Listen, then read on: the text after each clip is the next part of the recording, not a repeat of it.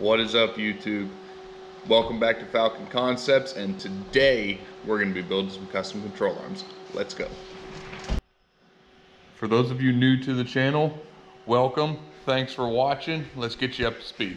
What we've been working on lately is called the Tally Wacker project, where we're doing a 12 valve Cummins swap on a 1984 C10 but also we're doing a full custom tube chassis, control arms, putting it on bags, all kinds of stuff. What we've got so far, we've got the frame rails bent, we've got the front cross member mounted up on the jig. Now what's next in the project is our control arms. We're gonna get those built and then probably work our way to, towards the rear. All right, so we got our chassis jig here. I got the first cross shaft put in. Here's where our ball joint hookup's gonna be. First thing we need to do is we need to make some receivers for the bushings. We'll get that cut out of DOM and then we'll start measuring for tube.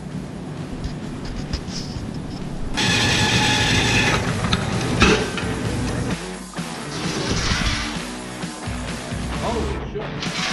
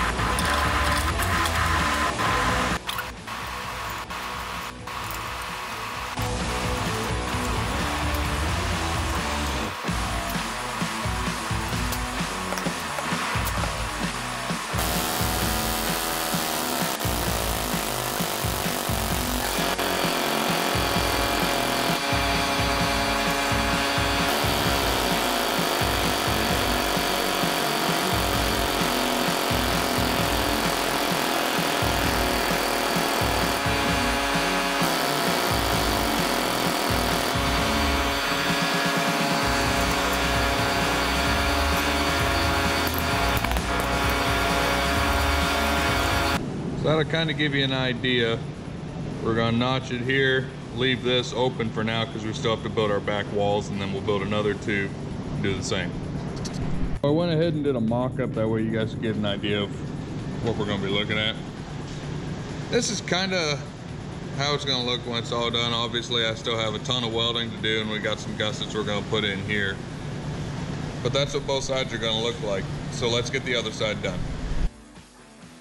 All right, so I got my one mock-up done. Started welding it. And then I got to looking at it and looking at it and looking at it. And I just wasn't feeling it. You gotta let the metal talk to you, man. So I decided that we're gonna scrap this one and make another one.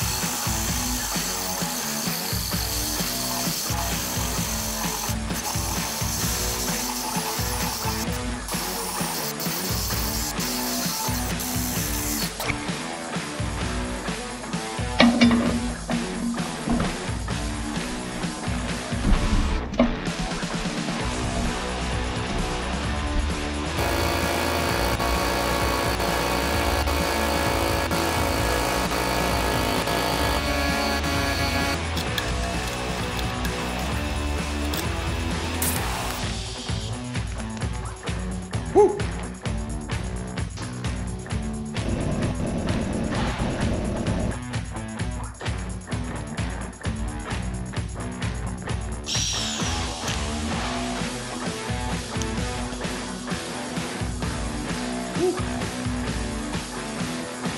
Oh yeah. Okay. Got the control arms mocked up. I really like it this time. I hope you do. So let's make the other side.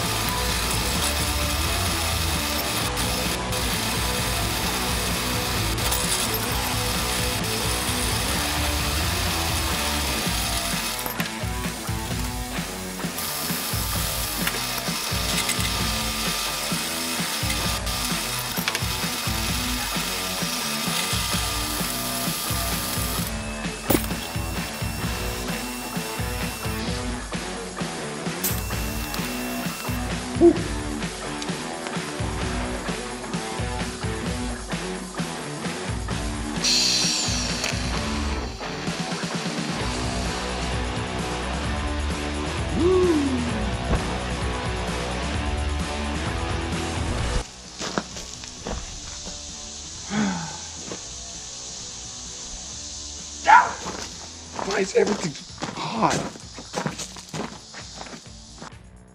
Okay. For any of you that are watching trying to learn, do not clean your material wearing your welding gloves.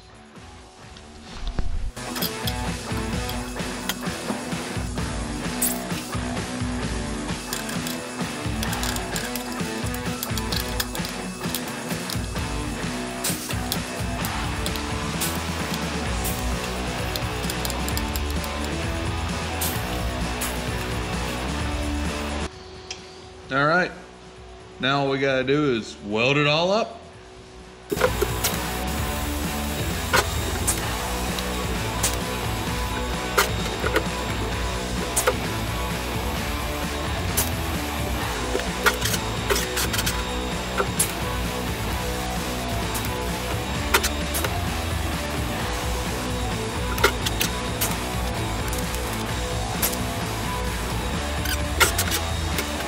Got the control arms all welded up. Let's take a look. There you go. So now they're ready for powder coat. But what we're gonna do for this video is just paint them flat black. And then whenever it comes time to powder coat, we'll sandblast them and get them coated. I have a confession to make. The only reason we're painting these is because many of you that know me know that I have absolutely zero patience. So I'm painting them because I can't wait. The paint is finally dry, so let's check them out. Here we go. Upper control arms for a 73 to 87 Chevy pickup. Let me know what you think in the comments. I like them. Well, there you go. We got upper control arms. If you like what you see here, hit that subscribe button. And on the next video, we're gonna do the lower control arms. I'll see you then.